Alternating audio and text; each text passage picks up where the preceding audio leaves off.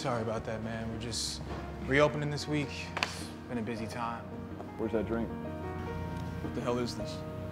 That's how she wants it. I'm gonna say this to you for the last time. You were supposed to watch her.